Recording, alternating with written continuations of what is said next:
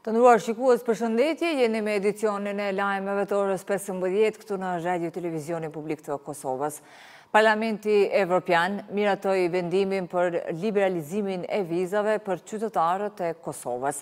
Me adoptimin e vendimit mbi liberalizimin e vizave në Parlamentin Evropian, përfundojnë të gjitha procedurat vendimmarrëse në këtë proces.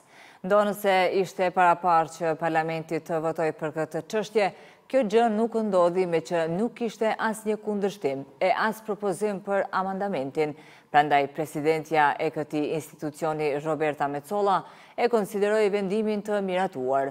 Ndërkohë nesër, në selinë e Parlamentit Evropian në Strasburg, do të mbahet ceremonia e nënshkrimit të aktit ligjor, ku do të marrin pjesë përfaqësuesit e Parlamentit dhe të Këshillit të Ministrave të BE-së. Sipas procedurave, akti i nënshkruar dërgohet për përkthim në të gjitha gjuhët zyrtare të Bashkimit Evropian. Në fund, i njëjti publikohet në gazetën zyrtare dhe konsiderohet i plotfuqishëm. Sipas vendimit të miratuar, shtetasit e Kosovës do të gëzojnë lëvizjen e lirë në zonën Shengen nga data një janar i vitit dy mijë e njëzet e katër. Do të ndjekim të nderuar shikues në vazhdim momentin e miratimit të vendimit për vizat në Parlamentin Evropian. I have received no proposal to reject the Council's position and no agreement. Nuk kam marrë asnjë propozim për të refuzuar qëndrimin e Këshillit, prandaj qëndrimi i Këshillit është miratuar dhe akti i propozuar është miratuar.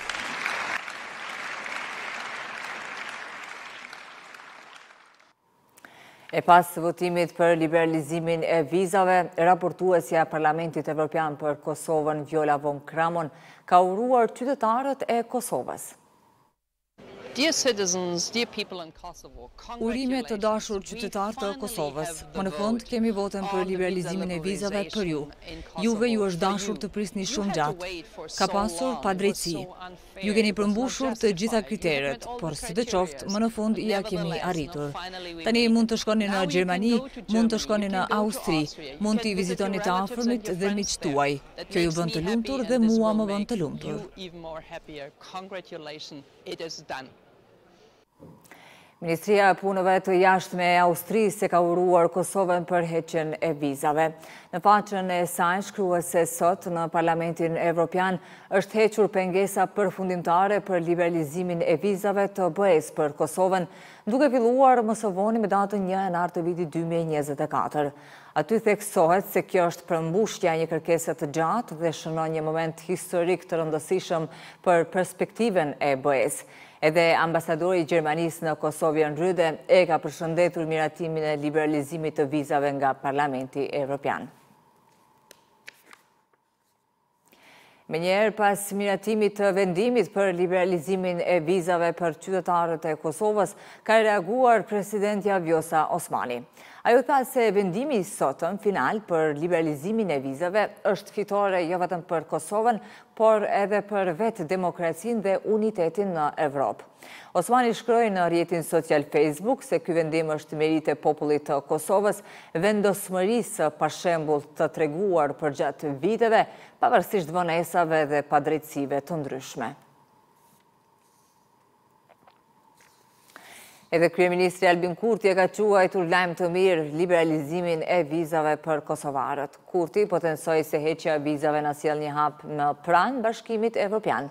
Lajm i mirë për Kosovën sot. Parlamenti Evropian miratoi udhëtimin pa viza për qytetarët tanë, duke filluar nga data një janar i vitit dy mijë e njëzet e katër. Kjo na sjell një hap të rëndësishëm më pranë Bashkimit Evropian dhe duke kontribuar në pasurinë që ofron BE. Faleminderit eurodeputetëve për mbështetjen e tyre, shkroi Kurti. Vendimin për liberalizimin e vizave për qytetarët e Kosovës nga Parlamenti Evropian e kanë mirëpritur edhe subjektet politike opozitare.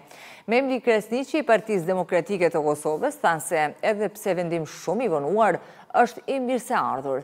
Ai shfaqi shpresën që ky vendim të hyjë në fuqi sa më parë.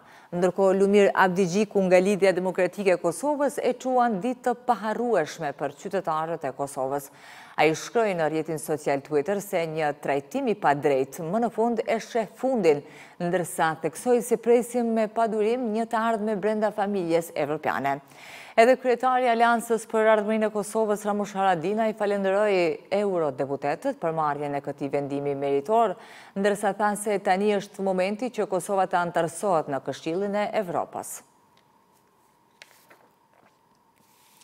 Në selinë e Parlamentit Evropian në Strasburg, nesër do të mbahet ceremonia e nënshkrimit të aktit ligjor, ku do të marrin pjesë përfaqësuesit e Parlamentit dhe të Këshillit të Ministrave të BE-së. Këto dy institucione dhanë vulën përfundimtare për vendimin për heqjen e regjimit të vizave për shtetasit e Kosovës. Me këtë rast, zëvendëskryeministri Besnik Bislimi udhëton nesër drejt Strasburgut, ku do të marrë pjesë në ceremoninë e nënshkrimit zyrtar të vendimit për liberalizimin e vizave për Kosovën, që organizohet nga presidentja e Parlamentit Roberta Metsola. Ceremonia ndërkohë do të fillojë në orën katërmbëdhjetë e dyzet e pesë.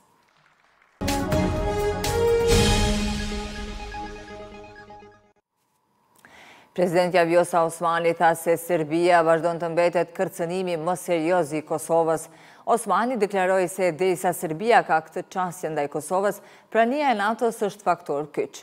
Këto komente, e para e vendit i bëri në tryezën pesëmbëdhjetë vjet të mbikëqyrjes së sektorit publik të sigurisë, të organizuar nga Qendra Kosovare për Studime të Sigurisë. Serbia, si satelit i Rusisë në Ballkanin Perëndimor, vazhdon të mbetet kërcënimi më serioz dhe kryesor ndaj sigurisë shtetërore të Republikës së Kosovës. Republika e Serbisë vazhdon të përdorë në mënyrë të sinkronizuar të gjitha elementet e saja përmes metodave hibride kundër Republikës së Kosovës. Në fushën e marrëdhënieve ndërkombëtare, ajo vepron kundër shtetësisë dhe integrimit të Republikës së Kosovës në institucione ndërkombëtare. kurse përbrenda, në territorin e Republikës së Kosovës, ajo instrumentalizon strukturat kriminale në veri, duke i paguar dhe shtytur ato për të kryer krime, dhe njëkohësisht pengon integrimin e plotë të qytetarëve serbë në Republikën e Kosovës, përmes presionit, frikës, shantazhit, si dhe nëpërmjet dhunës. Në të njëjtën kohë Serbia vazhdon të paraqesë rrezik të drejtpërdrejtë për sigurinë e gjithë rajonit, duke shtuar edhe kapacitetet ushtarake, si në pozicionimin e tyre përgjatë kufirit me Kosovën, po ashtu edhe në raport me shtetet e tjera në rajon. Në këtë kontekst, derisa të kemi këtë qasje dhe këto pretendime të hapura të Serbisë ndaj Republikës së Kosovës dhe jo vetëm, prania e NATO-s në Kosovë dhe në rajon është faktori kyç në ruajtjen e paqes dhe qëndrueshmërisë rajonale. Kryeministri Albin Kurti tha se Kosova është zotuar për zbatim të marrëveshjes me Serbinë. Kurti tha se tashmë i mbetet faktorit ndërkombëtar që ta detyrojë Serbinë që t'i zbatojë marrëveshjet. Ndërkaq sa i përket zgjedhjeve në veri, ai tha se nuk ka kurrfarë arsye të besojnë se do të ketë çfarëdo pengese për mbajtjen e tyre. Bëhet fjalë për një marrëveshje me gjithë aneksin e saj si pjesë integrale, e cila nuk paraqet një tërësi të elementeve, po paraqet një pako në të cilën nuk mund të shkëputësh asnjë pjesë. Ne jemi zotuar dhe kemi ripërsëritur qëndrimin tonë për zbatim të plotë të kësaj pakoje, të kësaj marrëveshje bazë dhe aneksit përkatës për implementim dhe tash besoj që fjalën e ka Brukseli që ta detyrojë Serbinë për këtë. Nuk kemi informacione të tilla, ne kemi shkëmbyer të dhënat dhe analizat me njëri-tjetrin, sepse OSBE-ja është për bashkëpunim dhe për siguri. por nuk kemi arsye që të besojmë se do të ketë çfarëdo pengesash ditën e diel. Mua më vjen keq që qytetarët serbë të Kosovës janë nënshtruar një propagande të egër të mediave nga Beogradi të cilat janë të afërta me pushtetin atje, që të mos tregohen konstruktivë dhe të mos e shfrytëzojnë të drejtën e tyre për të votuar.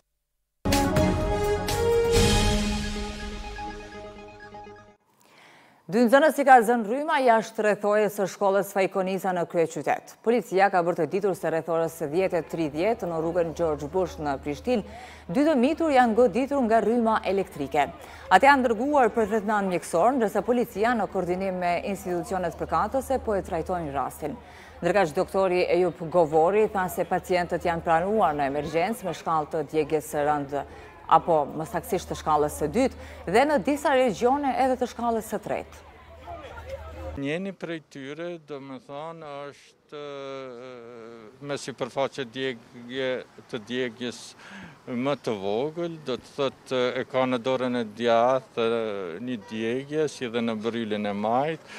Djegia është serioze, është e shkallës dy A, dy B, por në disa pjesë është edhe e shkallës së tretë. Domethënë, plaga është me ind nekrotik, domethënë me ind të vdekun, edhe i ka përfshi gati të gjitha shtresat e pjesës së trupit.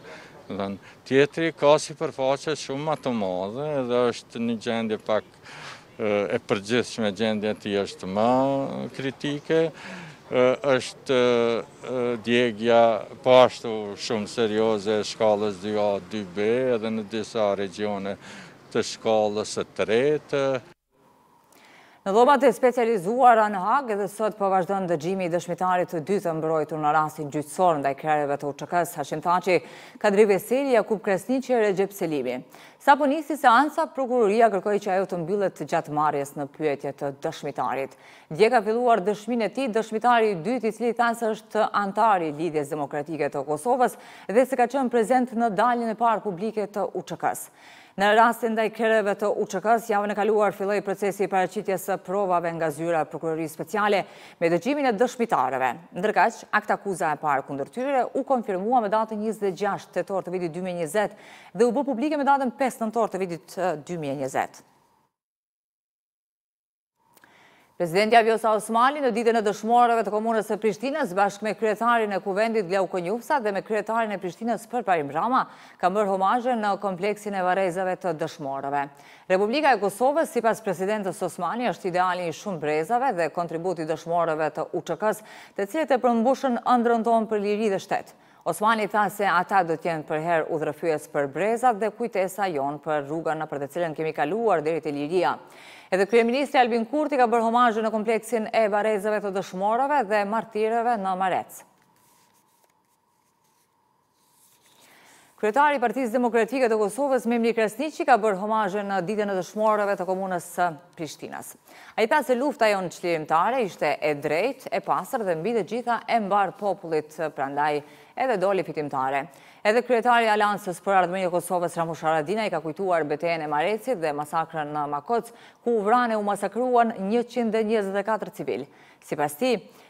Prilli i vitit një mijë e nëntëqind e nëntëdhjetë e nëntë për shumë familje të Llapit e të Gollakut ishte shndërruar në ditë krimit të paparë.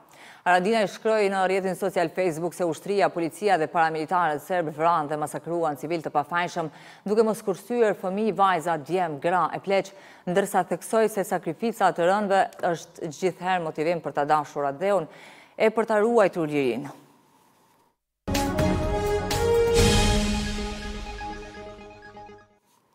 Kryeministri Albin Kurti gjatë vizitës në Agjencinë Kadastrale të Kosovës, ku mori pjesë në ceremoninë e vendosjes së gurthemelit të objektit të ri, premtoi përkrahje të vazhdueshme për këtë institucion. Ai tha se qeveria në AKK është duke investuar 16 milionë euro, ndërsa shtoi se objekti i ri që do të ndërtohet është mbi 4000 metra katrorë dhe do të kushtojë mbi 2 milionë euro. Kurti tha se për njëzet vjet ishin qenë investuar veç njëzet milionë euro, ndërsa theksoi se kadastra për një shtet është pasqyra që e shohin veten. Ndërkaq, ministri Liburn Aliu tha se objekti i ri do ta lehtësojë më shumë punën e kadastrës, duke shtuar se po punohet edhe në digjitalizim. Deputeti i Lidhjes Demokratike të Kosovës, Avdullah Hoti, tha se projektligji për tatimin në pronë do t'i bëjë lëmsh komunat dhe se do të ketë ndikim negativ në të hyrat vetanake të tyre. Sipas tij, ky projektligj do t'i trefishojë normat e tatimit për prona me vlera të mëdha. Ai tha se kjo qasje e qeverisë është tepër e keqe dhe se po bëhet pa asnjë konsultim me komunat dhe bizneset, si dhe tregon mungesë të seriozitetit dhe të profesionalizmit në qeverisje.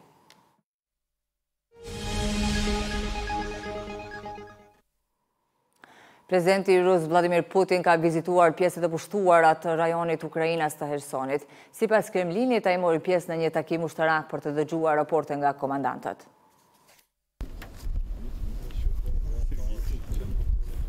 Presidenti rus Vladimir Putin ka vizituar selitë ushtarake në rajonet Herson dhe Luhansk në Ukrainë. të cilat kontrollohen pjesërisht nga Rusia, ka njoftuar Kremlini të martën. Putin mori pjesë në një takim të komandës ushtarake në rajonin e Hersonit për të dëgjuar raporte nga komandantët e forcave ajrore dhe oficerë të tjerë të lartë mbi situatën në rajonet Herson dhe Zaporizhzhia, të cilat Moska i ka shpallur pjesë të Rusisë. Trupat ruse u tërhoqën nga qyteti Herson, që është qendra e rajonit, nëntorin e kaluar, ndërsa kanë përforcuar pozicionet e tyre në bregun e kundërt të lumit Dnipro në pritje të një kundërofenzive ukrainase. Putin thuhet se ka vizituar gjithashtu edhe selinë e Gardës Kombëtare në rajonin lindor të Ukrainës Luhansk, një pjesë tjetër e vendit që Moska e aneksoi vitin e kaluar. Presidenti brazilian është kritikuar ashpër nga SHBA se po i shërben propagandës ruse dhe kineze, pasi në vizitën e tij në Kinë, ky i fundit deklaroi se SHBA nuk duhet ta inkurajojë luftën në Ukrainë. Shtetet e Bashkuara kanë kritikuar ashpër presidentin brazilian Luiz Inácio Lula da Silva për komentet e tij se Shtetet e Bashkuara po inkurajojnë luftën në Ukrainë. Zëdhënësi i Këshillit të Sigurisë Kombëtare të Shteteve të Bashkuara, John Kirby, akuzoi Lulën se po bën papagallin e propagandës ruse dhe kineze. Lula, i cili ka paraqitur veten si ndërmjetës i paqes për t'i dhënë fund konfliktit, ka thënë gjatë fundjavës se Shtetet e Bashkuara duhet të ndalojnë së inkurajuari luftën dhe të fillojnë të flasin për paqen. Kina publikoi një plan paqeje në shkurt, i cili nuk kërkon në mënyrë eksplicite që Rusia të largohet nga Ukraina. Kurse Lavrov, i cili vizitoi Brazilin të hënën, tha se Moska ishte mirënjohëse ndaj miqve brazilianë për kuptimin e tyre të qartë të gjenezës së situatës. Ne jemi mirënjohës për dëshirën e tyre për të kontribuar në gjetjen e mënyrave për të zgjidhur këtë situatë, ka thënë Lavrov.